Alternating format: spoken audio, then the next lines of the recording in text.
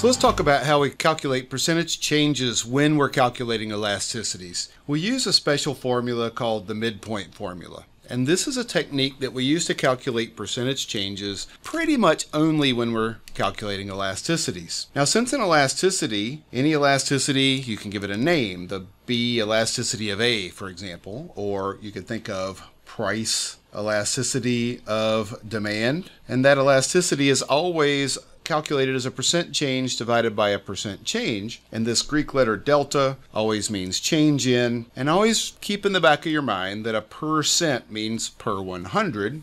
Then price elasticity of demand, since it's the first word in the elasticity, that is going to go in the denominator here. So percent change in price on the top would be the percent change in something having to do with demand. And what we really mean by that is quantity demanded. Real quickly, before we talk about the midpoint formula, let's compare it to the standard percent change formula that you have used previously in your life. So the standard percent change formula can be written simply this way. Take the new number minus the old or the original value, divide it by the original value, and multiply it times 100. A shortcut way to think about that is, instead of new minus old, just think about it as the change. How much is this value changing between the two numbers? And then divide it by the old number. And then, of course, to make this into a percent, we have to multiply it times 100. Here's an example we can do in our head, basically. What if we're going from 100 up to 150? Well, since this blue bar, this original 100, can be divided into two 50s, what we're doing is we're going up 50. So that's the change. So the change would be 50. That's the numerator of our formula. Then we would divide that by the original number, the 100, which we see is two 50s, and multiply that times 100. And that's going to be 50%. In other words, when you're going from 100 up to 150, you're adding half of the original value to itself, an increase of 50%. Now, the problem happens is what happens when we go from 150 back down to 100? Here we're starting with the blue bar is 150 and we're going down 50. So we can divide that blue bar into three 50s. And what we're doing when we go from 150 back down to 100 is we're just getting rid of one of those 350s. We're going down by one third right? So the formula is going to be we're going down 50 divided by the original 150 times 100, and that simplifies to a third times 100, or down 33.333333%. What we don't like about this kind of thing when we're doing an elasticity calculation is if we're studying how a change in one thing, say price, affects a change in another, say how much people buy, then what we really want to do is study those two points, the $100 and the $150. We don't want there to be a difference between the percent change when we do those two calculations. But in this case, when we're going from 100 up to 150, we're calling that a 50% increase. But when we go from 150 back down to 100, we're calling that a 33% decrease.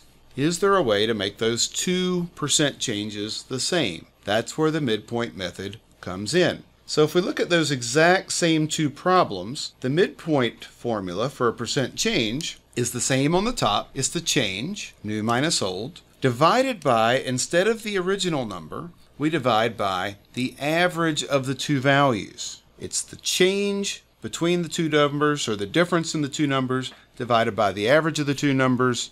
And then, of course, to make it into a percent, we multiply it times 100. So let's recalculate those 2% changes we looked at before.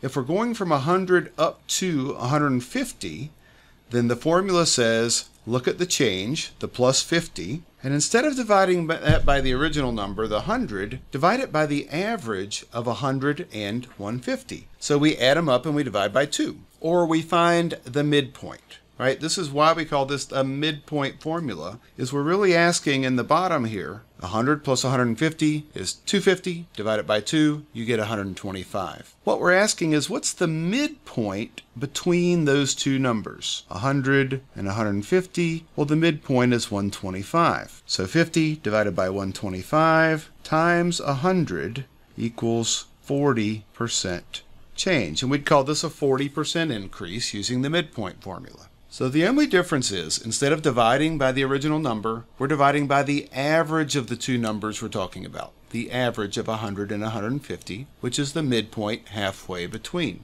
Now what happens if instead we're going from 150 down to 100? The formula says to take that change, which is we're going down 50, and to divide it by the average of 100 and 150. The same thing, 125 times 100, we'd call that a 40% decrease or a negative 40% change. Again, the benefit here is instead of getting 50% change when we're going up and 33% change when we're going down, we get a 40% change either way when we're using the midpoint formula. Now, anytime you're calculating an elasticity though, of course, we're going to have to calculate two percentage changes. And then we're going to do the ratio of one percentage change by the other, and that will give us our elasticity. Let's do a quick practice problem here. So for any elasticity problem, you're going to have to have two prices and two quantities, or two incomes if it's an income elasticity of demand. So here we have our two prices, 252 and 280. We have our two quantities, and these are real world numbers looking at a change in price and how it affects the quantity demanded of gasoline. So what we're going to need to do is Use these two numbers to calculate the percent change in price, these two to calculate the percent change in quantity, and then divide those two. Price elasticity of demand, the first word, that percentage change always goes in the bottom, and the percent change in the quantity demanded here is going to go into the top. So as always, I recommend you pause the video to check to make sure you can do this. Again, we're using the midpoint formula here, which is just the change divided by the average. Let's do percent change in price first. So here what we're going to want is the change in the price between those two values and then divide it by the average of the two prices.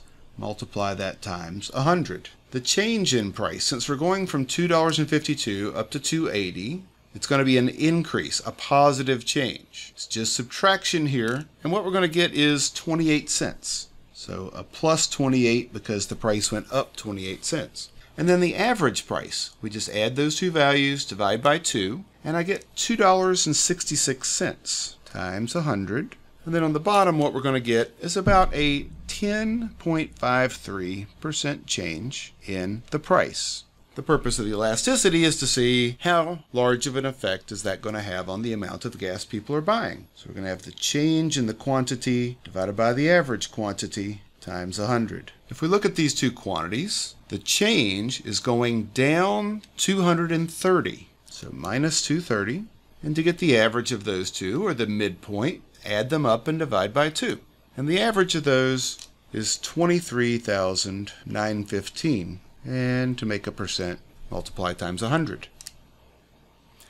And that percentage change, you should get that it's a little less than a 1% change, so minus 0.96%. So we've just used the midpoint formula twice, once to get the percent change in price, the second time to get the percent change in quantity, and finally to get the elasticity we need to divide those and we're going to end up with a unit free measure. It's not a percent anymore because literally what's going to happen is those percents will cancel. And when we do that division, I get about 0.091. And that is the price elasticity of demand for gasoline. And since this number is so close to zero, we're learning here that the price elasticity of demand for gasoline is very inelastic, not very responsive. And what that number would mean is for each 1% change in the price, there's only a 0.091% change in the quantity bought, And the negative sign means they move in opposite directions because of the law of demand. Price goes up, the quantity demanded goes down. Price goes down, quantity demanded goes up. So as always, if you have any questions about this, please let me know by posting in the comment section below, and I will talk to you later. Have a great day.